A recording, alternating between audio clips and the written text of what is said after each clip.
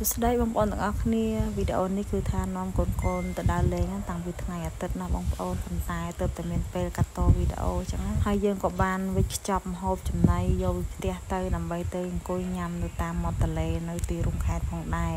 ហើយពេលល្ងាចនេះខ្យល់បក់មកឡើងត្រជាក់តែម្ដងបងប្អូនហើយនិយាយពីអ្នកទៅដើរលេងវិញគឺថាច្រើនមែនតើឲ្យថ្ងៃសៅរ៍អាទិត្យតង់តែមានមនុស្សកុះកអ៊ូអនៅតាមមាត់ទន្លេតែម្ដង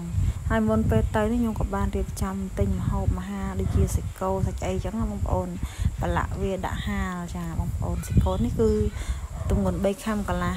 ហើយយើងបានប្រឡាក់វាចិត្តខ្ញុំធ្វើចិត្តប្រឡាក់បែបដាក់ម្រេចឲ្យរៀងច្រើនតិចណាបងប្អូនហើយដាក់ស្កររៀងផ្អែមតិចដែរដោយសារតែ កូនកូននឹងចិត្តរៀងផ្អែមមកគាត់ហូបបាយឆ្ងាញ់អញ្ចឹងណាបន្ទាប់ពីប្រឡាក់ហើយចូលជាតិហើយយកវាមកដាក់ហាលហើយដាក់ហាលវាមកសពប់ស្ងួតរបៀបថា80%បានយកវាមកចៀនហើយដាំបាយដាំអីត្រៀមមកហើយបងប្អូន ដល់ពេលម៉ោង4រសៀលហ្នឹងរៀបចំចេញដំណើរតែម្ដង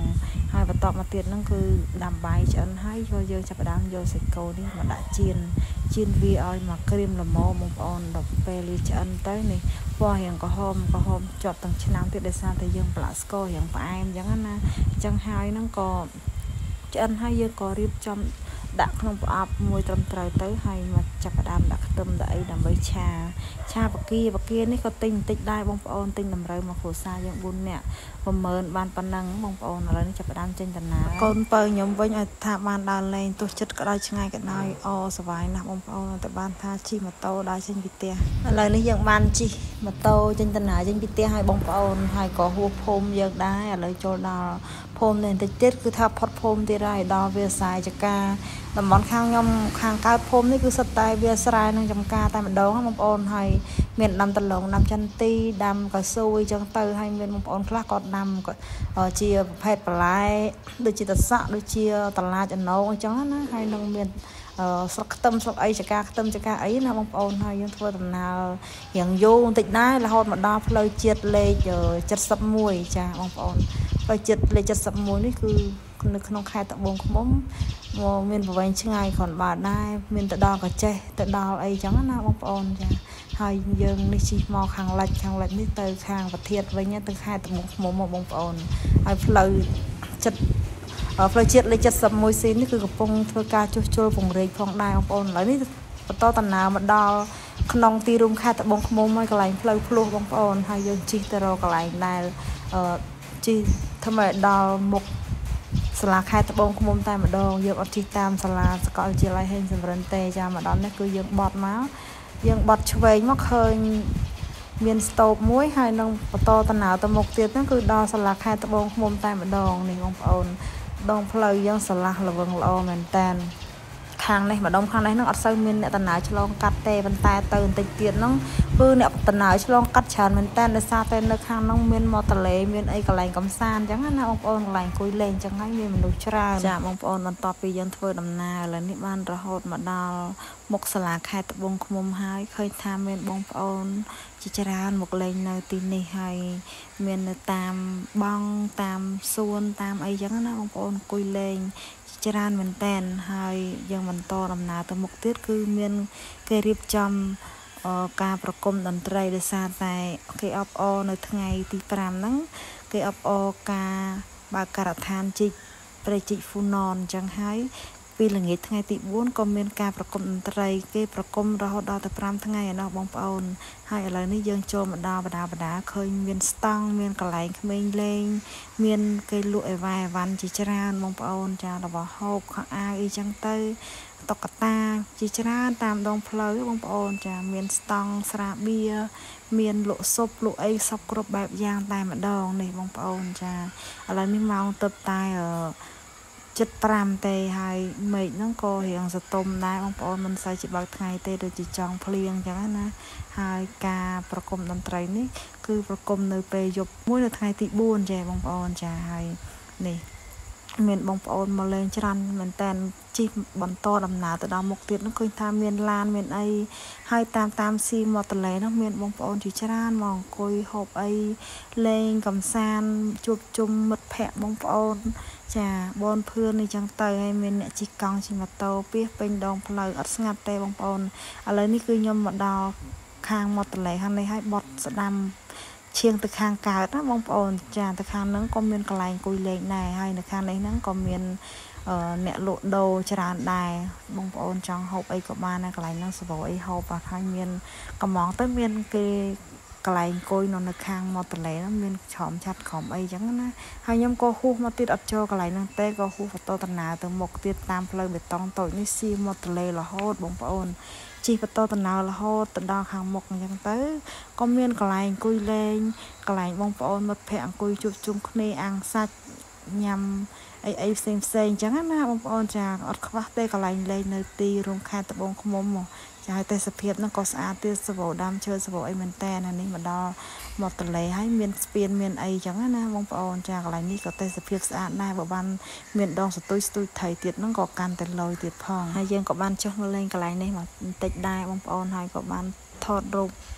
លេងជាមួយនឹងកូនកូនអញ្ចឹងណាបងប្អូនថតរូបលេងមកប៉ុសពីរប៉ុសចេញ style ចេញ style អីចឹងទៅចាថតលេងទុកជាអនុស្សាវរីយ៍ហើយបន្ទាប់មកទៀតហ្នឹងយើងក៏បាន បន្តដំណើរទៅមុខទៀតដោយសារតែយើងថាចាំរៀងឃ្លានតិចចាំយើងទៅអង្គុយញ៉ាំអីកន្លែងណាស្ងាត់កន្លែងណាស្អាតចឹងណាចាហើយនេះបងប្អូនកូនខ្ញុំមិនដឹងថាកាច់ស្ទាយកាច់អីខ្លះទេបន្ទាប់ពីថតរូបលេងមួយប៉ុសពីរប៉ុសហើយនឹងយើងក៏នាំគ្នាចេញតាណាត្រឡប់ក្រោយវិញបងប្អូនចាត្រឡប់ក្រោយបកមកវិញ គឺទៅមកខាងទៀតតាមមាត់ទន្លេដែរគឺទៅខាងលិចម្ដងបងប្អូនចាទៅខាងលិចហ្នឹងក៏មនុស្សកាន់តែច្រើនជាងនឹងទៀតបងប្អូនហើយអ្នកលក់ក៏ច្រើនដែរហូរហែតាមមាត់ទន្លេតែម្ដង ខាងនេះគឺថាមានខឿនអង្គុយលេង ខាងនោះវាធំទលេជាងខាងនេះទៅដបងមិញបងប្អូនហើយ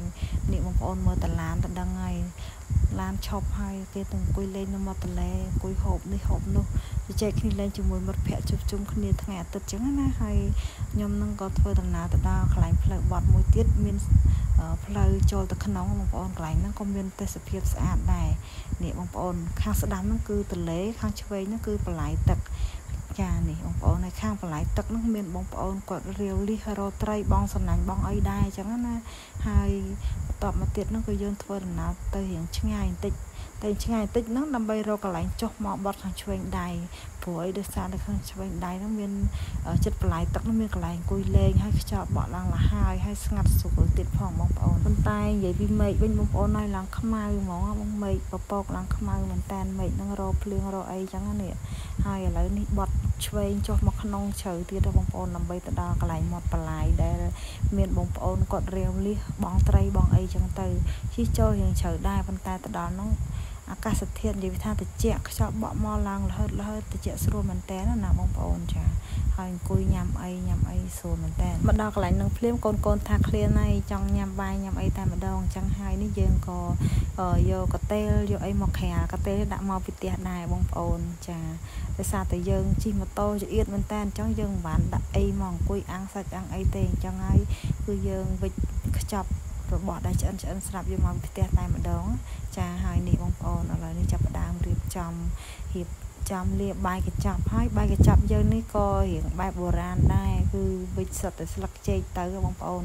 គ្រាន់តែបើកស្លឹកចេកមកបាយរបស់យើងគឺថាក្លិនឡើងឈ្ងុយតែម្ដងណាបងប្អូន មានតាំងពីផ្លែឈើហ្នឹងហើយហើយម្ហូបមានតែពីរមុខទេគឺឆាបកាជាមួយនឹងរឹកខ្ញីហើយនឹងសាច់គោជៀននឹងឯងហើយនេះ ឥឡូវនេះយើងចាប់ផ្ដើមលាបាយលាអីមកហើយបងប្អូនបាយយើងតំណងណាស់បងប្អូនដូចខ្ញុំប្រាប់ចឹងខ្ចប់លឹកជ័យគឺថាខំនឹងឈ្ងុយនឹកឃើញកាលពីក្មេងៗឲ្យវិចបាយទៅចកាទៅអីហ្នឹងគឺ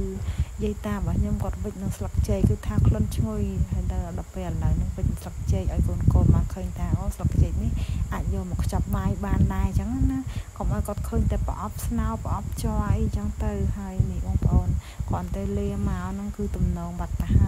យចាបាយ ពីរកំប៉ុងគ្នា4នាក់បងប្អូនរៀងច្រើនកាលគួសមដែរបន្ទាប់ពីយើងជិះដល់លេងលំហែមើលគេមើលអាយរាល់ហើយហ្នឹងមកអង្គុយកន្លែងនេះគឺថាស្ងាត់ល្អមែនតែនហើយចំពោះអាកាសធាតុវិញខ្យល់បក់ឡើងលហើយមកបក់មកម្ដងម្ដងត្រជាក់ស្រាប់តែម្ដងនៅមាត់បន្លាយហ្នឹងបងប្អូន ដោយសារតែខាងមាត់ទន្លេមនុស្សច្រើនអញ្ចឹងយើងជិះដល់ហោកន្លែងណាដែលស្ងាត់ងាយស្រួលយើងអង្គុយហូបបាយហូបអីប៉ុន្តែកន្លែងហ្នឹងមិនមែនថាស្ងាត់ជ្រាបតែម្ដងទេបងប្អូនគឺម្លង10ម៉ែត្រមានមួយក្រុម10ម៉ែត្រមានមួយក្រុមមានក្មេងៗអញ្ចឹងណាហើយមានចាស់ចាស់គេអង្គុយញ៉ាំអីដូចជាពួកខ្ញុំដែរអញ្ចឹងបងប្អូនហើយមានញ៉ាំបន្តបន្តគ្នា អត់ស្ងាត់ថាស្ងាត់នឹងស្ងាត់មនុស្សតែម្ដងទេគឺមានគេមានឯងដែរហើយនេះបងប្អូនឃើញមានអ្នកនៅរាវបែរជារាវលះនៅខាងក្នុងបន្លាយបងប្អូនហើយមានអ្នកបងសំណាញ់ហោហាយដែរនៅក្នុងហ្នឹងហើយកូនកូនខ្ញុំគឺថាហូបឡើងមានក្តីសុខតែម្ដងហើយចំនៅរបស់ដែលគាត់ចូលចិត្តទៀត ប្លែកម្យ៉ាងដែរដោយសារតែយើងខានចេញដើរក្រៅយូរអញ្ចឹងបងប្អូនយូរយូរដើរលេងម្ដងមកហូបបាយក្រៅផ្ទះម្ដងអញ្ចឹងបងប្អូន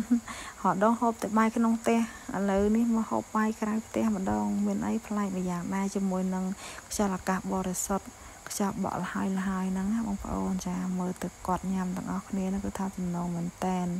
ចាម្នាក់មួយម៉ាត់ពីរម៉ាត់ហ្នឹងគឺថាឆ្ងាញ់តែម្ដងហើយខ្ចប់បាយពីផ្ទះហ្នឹងគឺថា កាត់បន្ថយការចំណាយច្រើនបើយើងចូលទៅហូបនៅកន្លែងគេហ្នឹងមួយចានដូចជា5 6000ខ្លះណាហ្នឹងមីឆាអីហ្នឹងប៉ុន្តែហូបអត់ត្រូវចិត្តអត់ត្រូវមាត់ទេហូបហើយទៅដល់ផ្ទះហ្នឹងរកបាយរកទឹកបន្ថែមទៀតចឹងហើយវិចបាយមកពីផ្ទះគឺជាការស្រេចឲ្យបងប្អូនអត់មានទៅថាចំណាយអីច្រើនទេ